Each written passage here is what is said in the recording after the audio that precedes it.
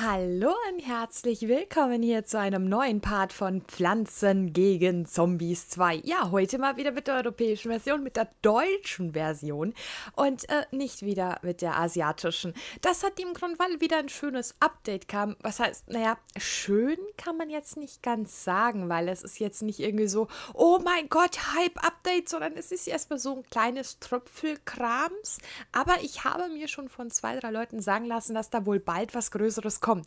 Wir werden uns das jetzt einfach mal angucken, äh, was sich da getan hat. Hier steht auf alle Fälle schon, wenn wir Pflanzen gegen Zombies 2 starten, neue, frische Ware eingetroffen, wöchentliche Updates. Das wissen wir ja schon, das habe ich euch ja vor einer Weile schon mal gesagt.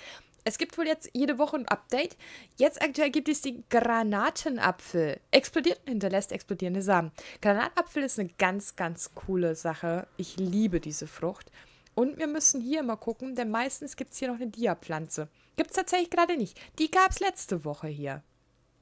Vielleicht gibt es auch momentan gerade eine Dia-Pflanze, die wir selber haben. Das wird es wahrscheinlich sein. Äh, deswegen wird's die, wird die nicht angezeigt. Aber ihr könnt bei euch ja mal gucken. Ähm, also momentan ist es immer so gewesen, dass man eine Pflanze für Diamanten kaufen konnte, statt für Echtgeld. So, jetzt gucken wir mal kurz in den Play Store ähm, wegen dem Update. Und zwar ähm, will ich euch das einfach mal ganz kurz vorlesen. Und zwar, neue Funktionen. Freue dich auf einen heißen Herbst mit unserem neuesten Update vom 30. August. Das ist äh, gestern. Ähm, bis 27. September erwarten dich spannende Events. Hühnerwoche, rumglucken und gewinnen. Footballwoche, pflanze wie ein Champion. Kleine Zombies und große Preise in der Wichtwoche. Woche der offenen Tresortür. Spiele drei Premiumpflanzen aus dem Tresor. Saftling, blühendes Herz und Pusteblume. Außerdem die explosive neue Premiumpflanze Granatapfel. Danke fürs Spielen. Ja, äh, gerne. Dann äh, werden wir doch einfach mal gucken. So, jetzt haben wir erst einen wunderbaren schwarzen Bildschirm. Okay. Danke, Spiel. Wir starten es einfach neu. Ich glaube, das ist vielleicht besser so. Ja, Emulatoren, das ist immer so, nee, das mal will es und dann will es mal wieder nicht. Und ach, naja, Pflanzen gegen Zombies 2 auf meinem alten BlueStacks-Emulator, da kann ich es ja momentan ohnehin nicht laufen lassen. Beziehungsweise ich habe es gar nicht nochmal versucht, aber ja, egal. Ähm, wir schauen einfach mal. Naja, wie soll ich sagen, wir haben jetzt nicht so die Über-OP-Sache, die wir jetzt machen können. Da haben wir was angeblich abgeschlossen. Sehr gut. Faultier-Zombies? Ne, Faultier-Gargantuas. Okay. Ähm, da haben wir jetzt nichts im Reiseklotz. Ich finde es interessant, dass es keine Pinata-Party gibt. Ich habe keine Pinata-Party gemacht. Das ist gerade ein bisschen seltsam. Den Stern habe ich mir im Übrigen natürlich geholt, ne, wenn er schon da ist. Okay, wir machen das Level jetzt einfach mal kurz. Produzieren mindestens 5000 Sonnen, Spiele mit höchstens 16 Pflanzen zur selben Zeit. Okay.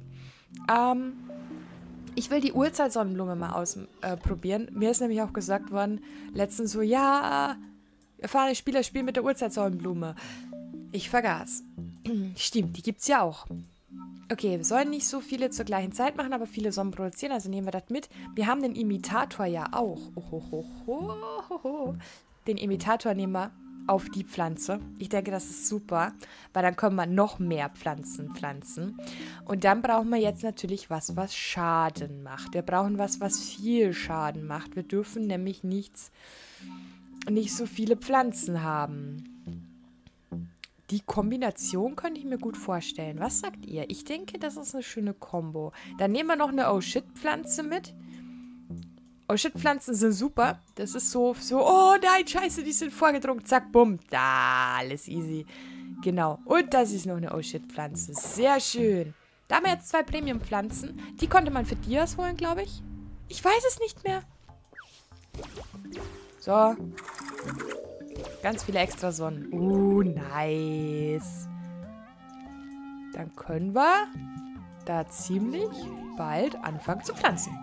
Dann brauche ich die hier vielleicht gar nicht. Nur wunderbar.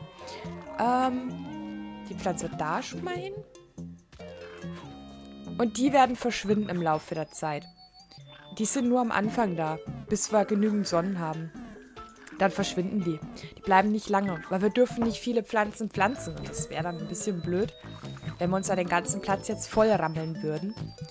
Und am Ende haben wir das Problem, das war, äh, ja, äh, das war, na sag schon, Ich komme nicht drauf. Dass wir keine Pflanzen pflanzen können. Genau, das wollte ich sagen. Aber wir dürfen halt kaum was pflanzen. Das ist heftig. Das ist richtig böse.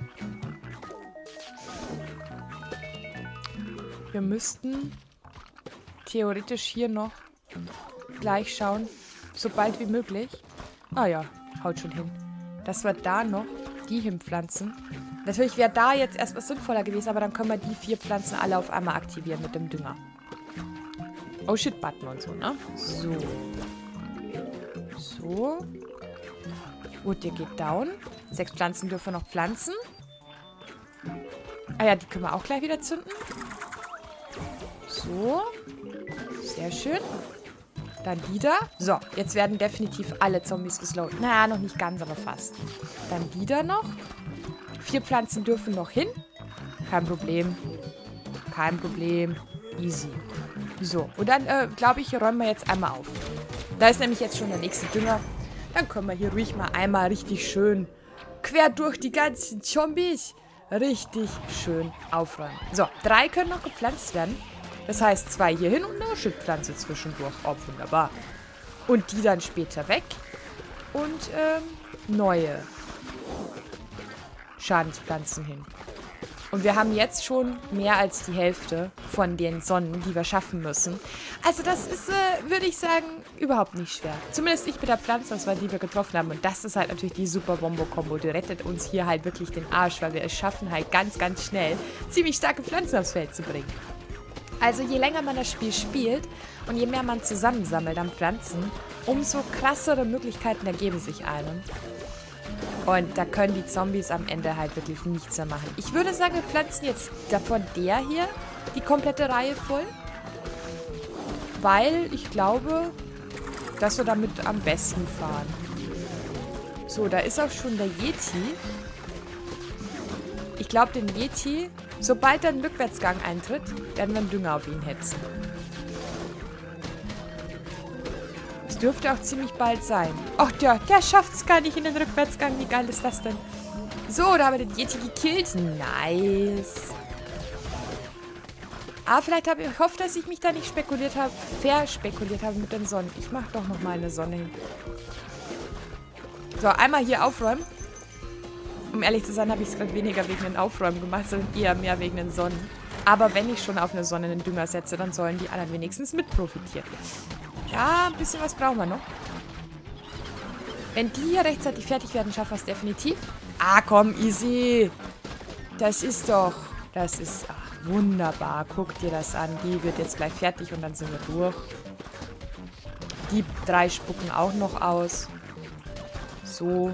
Die einmal hier durchhopsen. Oh, wir haben es eh schon. Nice. Wunderbar. So schnell kann es gehen. Können wir die hier wieder wegreißen. Packen die da hin. Reißen wir die noch weg und packen die dahin. Und die würde ich dann auch noch wegreißen. Da packt man Dünger da drauf, damit sie schneller fertig wird. Der asiatischen Version geht das leider nicht. Aber hier geht das schon. Da packt man Dünger einfach auf die Pflanze und dann kann man die pflanzen. Warum habe ich die jetzt noch gepflanzt? Einfach, weil ich es kann. es macht halt einfach doch zwischendrin immer wieder mal Spaß, so ein bisschen, ja, zu übertreiben. Und ja, fand ich ein schönes Level. Sehr schön. Damit haben wir das geschafft. Das, äh, war ja jetzt kein schweres Yeti-Level, um ehrlich zu sein. Jetzt, na, die Event-Hühnerwoche läuft. Na also, nur für kurze Zeit. Gewinne grandiose, gackernde Preise. Jetzt bin ich mal gespannt. Gackernde Preise? Äh, weiß ja nicht so ganz, was ich davon halten soll. Okay. Okay. Wir kriegen vorgegebene Pflanzen. Und schon mal welche, die auf die Grabsteine schießen und nicht drüber hinweg. Ah, das ist auch schon mal wunderbar. Da freue ich mich ja schon mal richtig derbisch drüber. Macht das auch mal Geräusche? Nein. Macht es nicht, okay. Nee, mein Headset hat sich nur kurz verabschiedet gehabt. Ach so, na dann. Mein Headset. Ich denke mir schon so, hä, macht das auch mal irgendwann mal Geräusche? Das gibt es doch nicht. Ja, ja. Alles gut. Ja. Die beiden könnten ein Problem werden. Kann sein, dass da die Rasenmäher gleich drüber rollern werden. Oh, warte mal. Kadusch! Nein, da war ja der Grabstein noch. Oh. Und cut. Durch. Ich habe ihn getroffen. Gut. Aber wir pflanzen jetzt einfach mal wild durch die Gegend. Weil es ist ja so, dass ich ja immer darauf bestehe, symmetrisch zu bauen. Ne? Ich baue jetzt mal da, wo es gefordert ist. Na, also wirklich mal frei nach Lust und Laune, wo die Pflanzen gerade gefordert werden. Da baue ich jetzt mal. Um mal zu gucken, wie das läuft. Denn wie gesagt, normalerweise bin ich jemand, der sagt, äh, ich baue lieber symmetrisch. Weil, weil. So, dann gucken wir mal. Ob ich auch ohne symmetrisch bauen gut vorankomme. Bam. Bam. Sehr schön. Und bam. Sehr schön. Und gleich nochmal. Bam. Und da auch. Bam. Uh, das ist ein Dünger. Können wir den wegschieben? Der schiebt doch die weg, ne? Ja, der schiebt die zurück. Uhuhu. Und boom. Ah, ich fühle mich so unwohl, wenn es nicht symmetrisch ist. Das ist so, nee. Das ist halt... Es ist halt so, ja, keine Ahnung. Die Verteilung des Schadens ist halt nicht so dolle. Und das ist halt schwierig, sag ich mal. Das kann zu Problemen führen.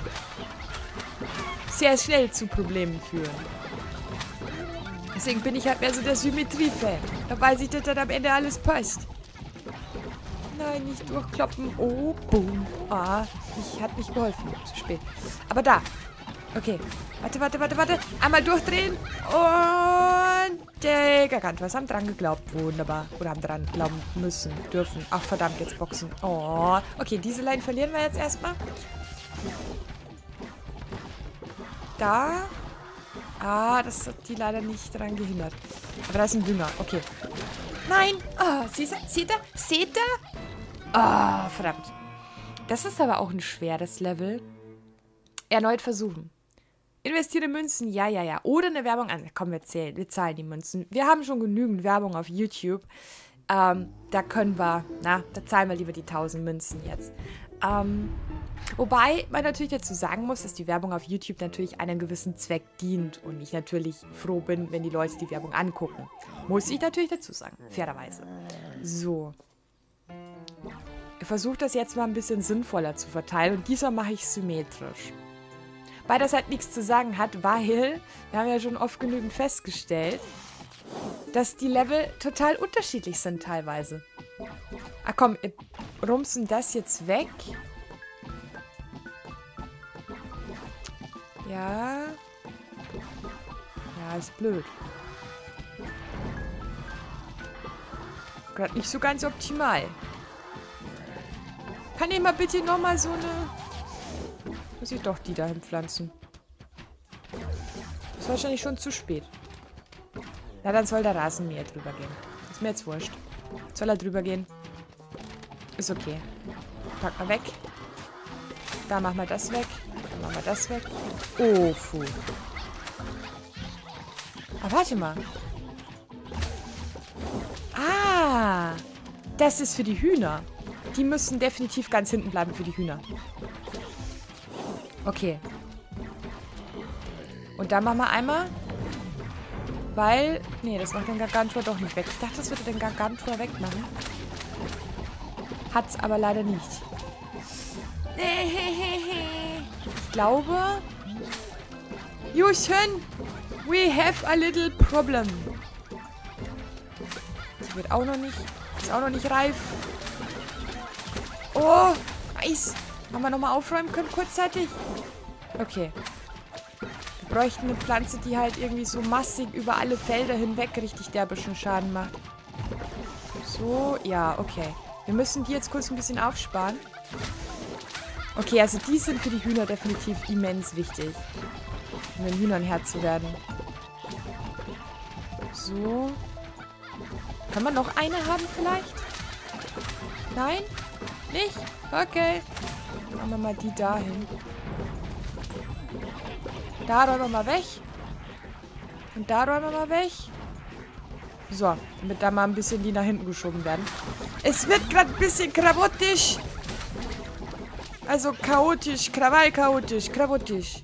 Ich weiß gar nicht, existiert dieses Wort überhaupt? Meine Mom hat das immer gesagt, krawottisch. Ich glaube, das ist eine Mischung aus chaotisch und Krawall. Oder so. Ich habe keine Ahnung. Auf alle Fälle wird es krawottisch. Guck dir das an. Es ist nicht jedes Level immer gleich. Manchmal Aber ich habe das Gefühl, die Symmetrie hat uns geholfen. Symmetrie, äh, Symmetrieses? Symmetrieses. So eine Mischung aus Symmetrie und Jesus. Sehr schön. Wir haben es geschafft. Wupp, wupp. Nice. Okay, 100 Münzen, 500 Münzen. Wow, das sind total gackernde Kreise. Äh, Preise. Ich bin begeistert. Die waren richtig gackernd, die Preise. Ja, ja, gewinne gackernde Preise. Mhm. Ja? Ja, ja, ja, ja. Okay, wenigstens haben wir einfache Zombies-Tüten abgeschlossen. Sehr schön. Das ist doch... Okay, wir gucken mal. Wir dürfen eine Premium-Pflanze. Glaube ich, jeden Tag darf man das einmal, ne? Eine Premium-Pflanze testen. Das sieht schon wieder stark nach der Chala Jalapeno aus. Nein, es ist... Oh, den Stern. Den habe ich mir geholt. Finde ich super. Dann sehen wir den nämlich jetzt, dieses Level. Das ist nämlich die Pflanze, die es, wie gesagt, ich glaube, letzte Woche war es, äh, für, für Dias gab. Und die habe ich mir geholt. Genau. Dann sehen wir die jetzt auch mal in Action. Ja, wunderbar. Hm, pflanzt das mal ein bisschen vorne. Geht das mal down hier? Ja? Nein? Vielleicht? Okay, endlich. Hat aber lange genug gedauert hier. Dürfen wir hier allmählich Grabsteine verschwinden. Das wäre ganz cool. Dankeschön. Oh, endlich gehen die Grabsteine weg. Sehr schön. Ernsthaft jetzt schon Gargantuas? Wollt ihr mich ver... Okay, alles klar. Okay. AFK, bin weg. Tschüss. Hauste. Eieiei. Oh. Okay, warte. Düngereffekt. Oh, guck dir diesen Düngereffekt an. Das ist wunderbar. Und natürlich wieder ein Zeichen dafür, dass natürlich in einer gewissen Art und Weise natürlich die Premium-Pflanzen irgendwie verdammt stark sind. Und nochmal Düngereffekt. Guck dir das an. Und jetzt, da. Einfach mal gucken. Ja, die natzen halt auch einen Garganto weg. Wobei, der hat halt wahrscheinlich schon relativ viel Schaden gefressen vorher. Und nochmal. Schau dir das an. Mal gut, man muss halt dafür aber auch sagen, dass die Pflanze über verschiedene Lanes schießt und man das halt ein bisschen schwer kalkulieren kann, aber man könnte es kalkulieren. So kann ich zum Beispiel hier, weil hier gerade keine Zombies sind, einfach ganz viele von denen hinpflanzen. So, und dahin. Sehr schön. Und da, damit der was zum Draufschlagen hat. Und schön weiter dahin pflanzen. Oh, die trifft da gar keinen. Was? Okay. Ja. Schießt die nach hinten auch? Ja, nach hinten schießt die auch. Okay, sehr schön. Oh, oh. Notterrasenmeer. Nein, Notterrasenmeer. Oh, guckt dir das an. Die ist verdammt stark, die Pflanze. Und man kann sie halt relativ schön taktisch setzen, wenn man sie einfach am Schluss einfach am Ende hinsetzt zum Beispiel. Wie wir es gerade gemacht haben. Das läuft ziemlich cool. Nice. Okay, damit haben wir eine weitere Reise Mission abgeschlossen. Sehr schön. Gut ja, das ist das, was es halt momentan gibt. Ich würde sagen, wir sehen uns einfach nächste Woche wieder zu einer, äh, zu einer solchen... Was? Neue Mission verfügbar? Ich darf neu... Toll. Ich darf noch mal eine Premium-Pflanze. Ja, nee, ist klar. Welche ist es diesmal? Ich will die neue gern testen. Ich würde die neue gerne spielen. Es ist ja wirklich super duper wunderschön, dass sie eine neue Premium... Äh, die da. Die, da bringen sie eine neue Premium-Pflanze in den Shop und dann kannst du sie noch nicht mal ausprobieren. Was soll das denn? Das ist doch Quatsch. Das ist richtig Quatsch. Na gut. Ähm, was wollte ich sagen? Also wir werden übermorgen ganz normal wieder mit der asiatischen Version weiterspielen. Ich würde aber sagen, dass wir ähm, nächste Woche einfach wieder eine Folge machen, hier in der Version, damit wir so quasi, ähm, kriegen wir nur diese Pflanze? Okay. Die Pflanze macht halt, dass der Zombie sich umdreht und dann auf der Seite der Zombies kämpft. Ähm, das macht die Pflanze. Ähm, was wollte ich sagen? Ähm, wir werden dann so quasi nächste Folge dann in der asiatischen Version wieder weitermachen und nächste Woche machen wir dann wieder in der Version weiter. Genau, das wäre der Plan. Ja, da kommen die natürlich wieder recht weit und dadurch... Oh. Ähm, weil dann können wir uns nämlich so quasi auch immer das anschauen, was es denn so gibt. Das finde ich am geilsten. Dann packen wir mal einen Dünger drauf. Da packen wir auch mal einen Dünger drauf. Pass auf, es wird jetzt richtig heavy. Weil das sind nur so kleine Wichte und da kommen gleich die mit Helm, die haben da gar keine Chance. Aber dann werden die zum Gargantua. Mura. Sehr schön. Wunderbar.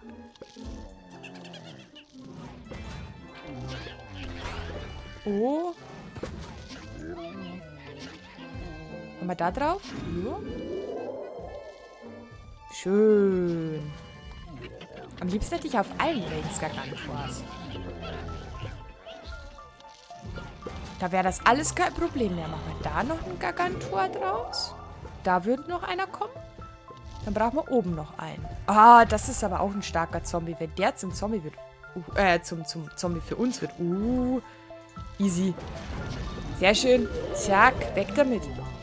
So, jetzt machen wir wieder ein bisschen schneller. Da brauchen wir bald einen neuen Gargantua und auf der Lane auch. Okay. Kein Problem. Am besten hinten einfach die Gargantua so zur Vorsicht. So. Einfach nur zur Vorsicht. Da braucht man Gargantua. Da für, alle Fälle, dass wir halt da hinten noch einen haben. Haben wir oben noch gar keinen Gargantua geholt? Oh, okay. Ups. Da müssen wir leider gegenwirken. Demnächst mal, ne? Ich glaube, das sollten wir was tun. Kriegen wir demnächst hier oben mal den... Oder so. Da, den habe ich noch ganz schnell verstärken können. Nice! Sehr schön. Jetzt geht's rund hier bei den Zombies. Sehr schön. Ich liebe das ja, dass man die umkehren kann. Also die Pflanze ist ziemlich cool. Ich muss aber zugeben, dass ich sie mir trotzdem nicht holen würde. Ich habe die nämlich, meine ich, auch nicht. Ich würde es tatsächlich nicht tun. Ähm, weil die Pflanze ist ganz witzig, aber ich weiß nicht. Ist nicht so ganz mein Fall. Wir spulen wieder schneller vor, damit wir das Level schneller hinter uns bringen. Nee, wie gesagt, ich finde es halt einfach schade. Da, da bringen sie eine Premium-Pflanze in den Shop eine neue und dann darfst du sie nicht mal irgendwie testen. Das ist totaler Quatsch. Aber gut. Hilft nicht. Ähm, und was wollte ich noch sagen? Wie gesagt, nächste Woche machen wir dann wieder eine Folge hier in der Version. Einfach nur, weil es halt eben, wie gesagt, ja momentan diese Spezialwochen gibt. Und wir natürlich nächste Woche auch wissen wollen, was in der Spezialwoche drankommt. Denn da ist ja irgendwie Footballwoche. Und das wollen wir uns auf alle Fälle anschauen. Zumindest würde ich es mir gerne anschauen. Ich vermute, ihr sicherlich auch. Deswegen machen wir das. So, da haben wir die abgeschlossen. Sehr schön. Wer, da steht jetzt wieder neue Version. Ähm, nee, okay, alles klar. Gut, dann würde ich sagen, war es das auch an dieser Stelle. Ich sage Dankeschön fürs Zuschauen und tschüss, bis zum nächsten Mal.